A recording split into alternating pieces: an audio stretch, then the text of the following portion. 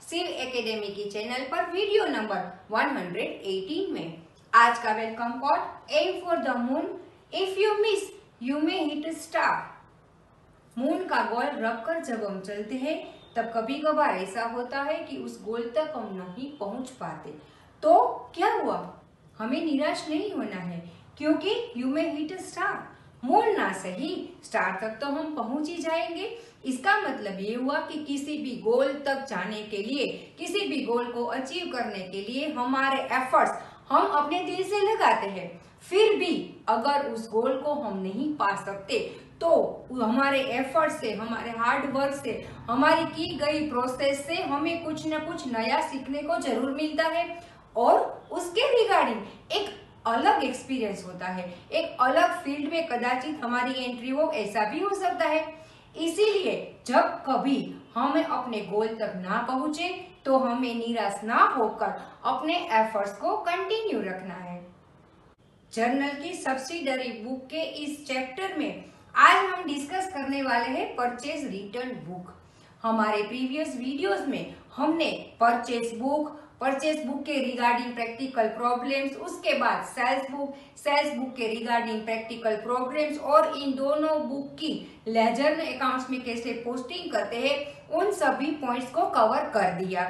आज इस वीडियो में हम डिस्कस करेंगे परचेज रिटर्न बुक बिज़नेस में कई बार ऐसा होता है कि किसी भी कारणवश हमने जो भी अपने सप्लायर के पास से परचेज किया है, वो हम उसे रिटर्न करते हैं। मतलब अब हमें वो गुड नहीं चाहिए। उसके लिए कई सारे रीजन होते हैं।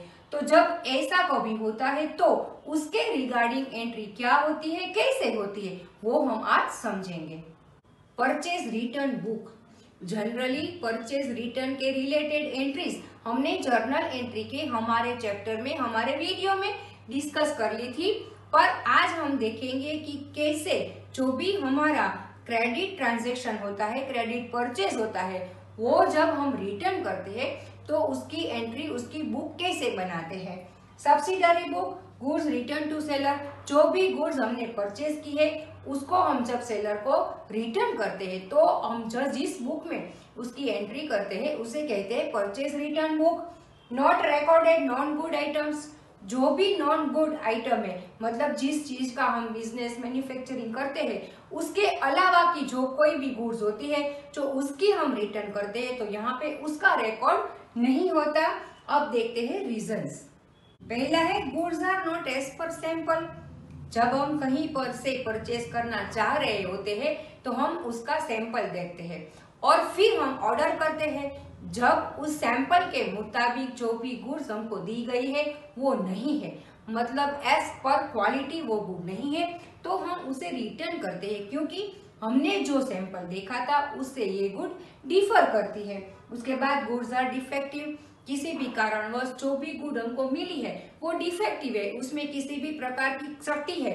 मतलब उसकी क्वालिटी जो स्टैंडर्ड हमने तय किया था, उससे डाउन क्वालिटी है। तो भी हम अपना परचेज रिटर्न करते हैं।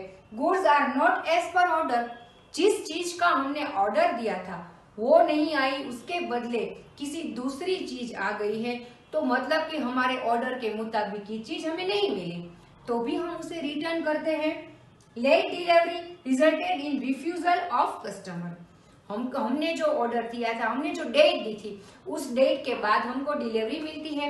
और फिर हम जब उस गुड को अपने कस्टमर को देते हैं तो वो लेट डिलीवरी का रीजन देकर वो डिलीवरी लेने से रिफ्यूज करते हैं। तो ऐसी सिचुएशन में हम भी अपने सप्लायर को अपना परचेज रिटर्न कर देते हैं। Purchaser prepare debit note and send it to the supplier अब जब हम कोई भी गुड परचेज करते हैं, सेल करते हैं तो ऐसी सिचुएशन में इनवॉइस या तो हमें मिलता है, या तो हम देते हैं। यहाँ पे जब हम परचेज रिटर्न करते हैं तो जो परचेजर होता है, वो एक डेबिट नोट प्रिपेयर करता है एंड वो अपने सप्लायर को वो डेबिट नोट भेजता है। डेबिट नोट कैसी होती है, उसका एक स्पेसिमेन यहाँ पे दिया गया है। सबसे पहले आएगा हमारा एड्रेस उसके बाद डेबिट नोट यहाँ पे आएगी उसकी डेट यहाँ पे डेबिट नोट का नंबर फिर जिसको हम डेबिट नोट भेज रहे हैं, यानी कि हमारा सप्लायर जिसको हम अपना किया हुआ परचेस रिटर्न करते हैं, उसका नाम आएगा। फिर यहाँ पे जो चीज़, कितनी क्वांटिटी है, कौन सी चीज़ है, ये हम लिखेंगे। यहाँ पे उसका हम रीजन लिखेंगे कि क्या रीजन है कि हम अपना परचेज आपको रिटर्न कर रहे हैं। तो ये लिखेंगे, फिर यहाँ पे आ गई उसकी प्राइस और उसकी क्वांटिटी जिसका टोटल हमने यहाँ पे कर दिया है। अब जो भी ट्रेड डिस्काउंट परचेज करते वक्त हमको मिला है, अब हमें वो तो नहीं लेना है। इसीलिए अपनी प्राइस में से हम वो भी माइनस करेंगे ट्रेड डिस्काउंट और यहाँ पे जो भी हमारी बैलेंस है, उसको हम इस तरह से राइट इन वर्ड्स में लिखेंगे। उसके बाद यहाँ पे मैनेजर की जो कि परचेज मैनेजर होता है या मटेरियल मैनेजमेंट मैनेजर होता है, उसकी यहाँ पे साइन होती है और यहाँ पे हम लिखेंगे ई e और ओ ई e। मतलब अगर किसी भी तरह की गलती होती है तो उन लोगों को या हम लोगों को करेक्शन करने की उसमें छूट होती है तो इस तरह से ये डेबिट नोट बनाया जाता है अब देखते हैं परचेज रिटर्न बुक का एक यानी कि जब हम परचेज रिटर्न बुक के रिगार्डिंग एंट्रीज डाउन रिकॉर्ड करनी होती है, तब हम उसे कैसे अपनी बुक में, अपनी आंसर शीट में ड्रॉ करेंगे?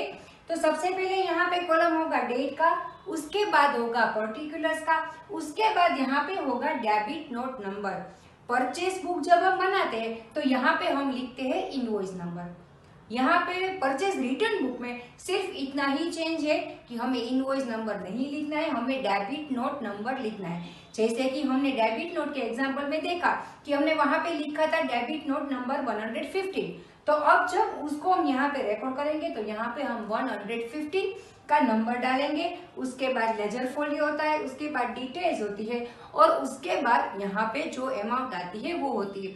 बस इतना सा सिंपल है हमारा परचेज रिटर्न बुक तो परचेज रिटर्न बुक उसका related debit note debit note का एक एग्जांपल परचेज रिटर्न बुक का स्पेसिमेंट इन सब पॉइंट्स को आज हमने देखा।